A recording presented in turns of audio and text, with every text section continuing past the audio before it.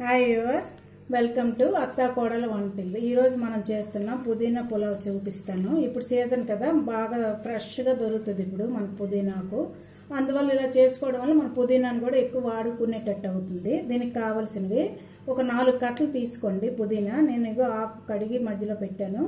ఒక పావు కప్పులాగా పుదీనా పేస్టు ఒక రెండు ఆనియన్స్ ఒక నాలుగు చీలికలతో పచ్చిమిర్చి అల్లం వెల్లుల్లి ఒక స్పూను ధనియాలు జీలకర్ర గరం మసాలా పౌడర్ ఒక స్పూను పసుపు ఒక హాఫ్ స్పూను టేస్ట్కి తగినంత సాల్ట్ ఒక స్పూన్ వేసుకోండి రైస్ బట్టి ఇది గరం మసాలా ఓల్ గరం మసాలా ఒక రెండు స్పూన్లు. ఇవి కావలసిన పదార్థాలు. మనం ఒక పావు కేజీ రైస్కి ఇవి చేద్దాము. ఇప్పుడు పాన్ పెట్టుకున్నాను. చూడండి తయారు చేయ విధానం ఒక రెండు టీ స్పూన్ల ఆయిల్ వేస్తున్నాను. ఎక్కువ అక్కర్లేదు. రెండు వేయండి చాలు. నెయ్యి ఒక స్పూన్ వేద్దాం.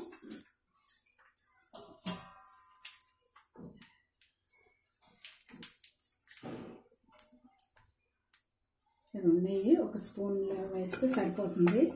మరీ ఎక్కువ అక్కర్లేదు. ఇది చాలా టేస్ట్గా ఉంటుంది. మనకి పుదీనా ఎక్కువ మనం వాడినట్టు ఉంటుంది. పుదీనాలో ఎక్కువ మనకి ఐరన్ కాల్షియం ఉంటుంది. యాంటీ ఆక్సిడెంట్లు ఉంటాయి. దానివల్ల మనకి వ్యాధి నిరోధక శక్తి పెరుగుతుంది. దానివల్లే మనం ఈ పుదీనాని ఎక్కువగా వాడాలి. ఆయిల్ మరిగింది కదా. ఓల్ గరం మసాలా యాలకులు లవంగాలు దాల్చిన చెక్క బిర్యానీ ఆకు.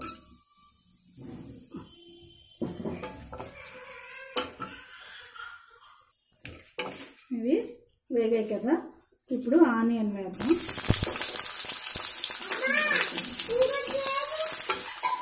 ఆనియన్స్ వేస్తున్నాయి కదా. ఇప్పుడు నాలుగు పచ్చిమిర్చి వేసుకోండి. దీనికి మనం పచ్చిమిర్చి కారం వేయాలి. కారం వేయం కదా. గ్రీన్గా ఉండాలి. అందుకోసం నాలుగు పడతాయి. ఒక వంద గ్రా గ్రాముల రైస్కి నాలుగు పడతాయి. నూట యాభై గ్రాములు ఇలా తీసుకున్నాను రైస్కి. రైస్ చూసారా? పచ్చిమిర్చి ఆనియన్స్ వేస్తున్నాయి ఓర్ గరం మసాలా వేసాం కదా మంచి స్మెల్ వస్తుంది అరోమా చాలా బాగా ఉంది. ఎంత బాగుందో చెప్పలేము. మీరు కూడా చేస్తే మీకు తెలుస్తుంది. ఇప్పుడు ఒక స్పూన్ మన ఇంట్లో చేసుకుని ఫ్రెష్గా ఉండేది ఇప్పుడే చేశాను నేనైతే. అల్లం వెల్లుల్లి పేస్ట్ వేయండి. బాగుంటుంది.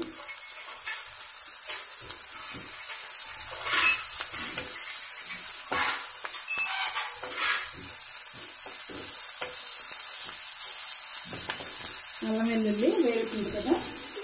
ఇప్పుడు మనం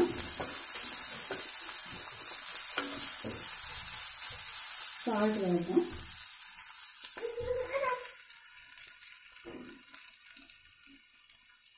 రైస్కి సరిపోయినంత సాల్ట్ వేయండి.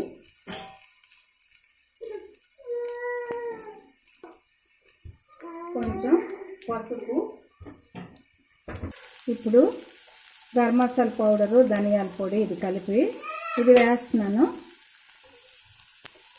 ఇప్పుడు పుదీనాని మిక్సీలో వేసి వాటర్ వేసి మెత్తగా పేస్ట్ చేసుకోండి. ఇది ఒక పావు కప్పు పేస్ట్ మనకు రావాలి. ఇది బాగా కొంచెం వేయించుకుందాం. ఇది కొంచెం ఆయిల్ తేలే వరకు ఇలాగా వేయించాలి. మనం మూడు కట్టలు కానీ నాలుగు కట్టలు కానీ తీసుకోండి. సగం పేస్ట్ చేయండి. సగం ఇదిగోండి ఇలా పొడిగా బాగా నీట్గా పొడిగి ఉంచుకుంటాం కదా ఈ ఆకుల్ని ఇలా వేయండి. ఇది కూడా ఒక రెండు నిమిషాలు ఇలాగా బాగా వేయించుకుందాం. మంచి స్మెల్ వస్తుంది. పుదీనాకి ఒక రకమైన ఫ్లేవర్ ఉంటుంది కదా చాలా బాగుంది.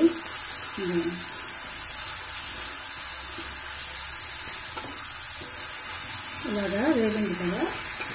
ఇప్పుడు మనం రెండు నిమిషాలు అవుతుంది ఇదండి ఆకంతా బాగా వేగింది ఇలా వేయడం వల్ల మనకి ఇంకా ఫ్లేవర్ ఎక్కువ ఉంటుంది. మద్దలాగా వేయాలి పేస్ట్ వేయాలి ఇలా పొడిగా కూడా మనం ఆకు వేసుకోవాలి. ఇప్పుడు మనం నూట యాభై గ్రాముల రైస్ ఇది. ఇలా పొడి పొడిగా తీసారా? ఎంత పొడి పొడిగా ఉందో. మనం వండిన తర్వాత ఒక క్షణం చల్లారి పెట్టుకుంటే బాగుంటుంది. ఇలాగా ఈ రైస్ని ఇందులో వేసుకుందాం.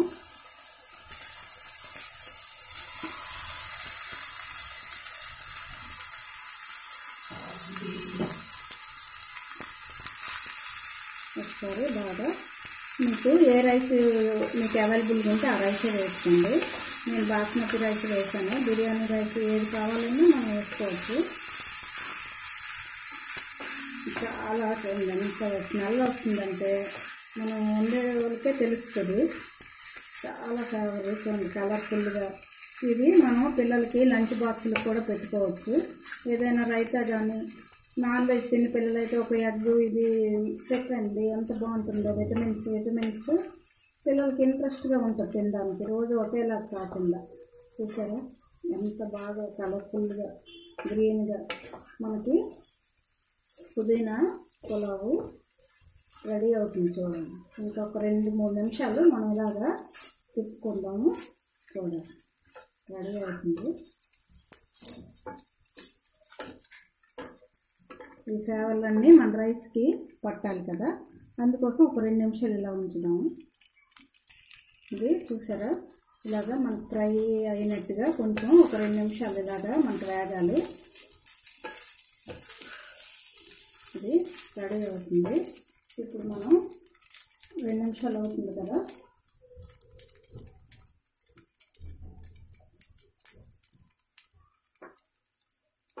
అంత ఫేవర్ అంత బాగానే పట్టింది. చాలా బాగుంటుంది ఇప్పుడు ఇది.